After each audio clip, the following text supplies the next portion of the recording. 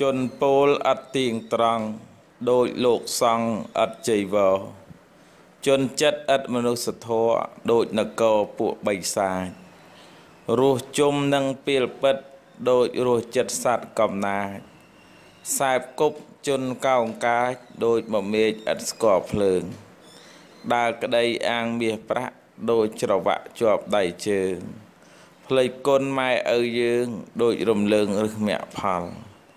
កាន់សិលឥតសង្រួមដោយខ្ទះខ្ទមភ្លើងឆាប់ដល់បដិបត្តិដោយឥតយល់ដោយផ្លូវខ្នល់ត្រូវជន់ដេចបុគ្គលឥតយល់គ្នាដោយភ្នែកជាតែដើរថ្មិចប្រើពាក្យជេរប្រតិចដោយលងលិចក្នុងភ្នក់ភ្លើង ហាស្ដីត្រូវប្រយ័ត្នពាក្យមួយម៉ាត់របស់យើង តាមតនកំជន់ជើងក្រែងលោភ្លើងឆាប់មកដល់វិញ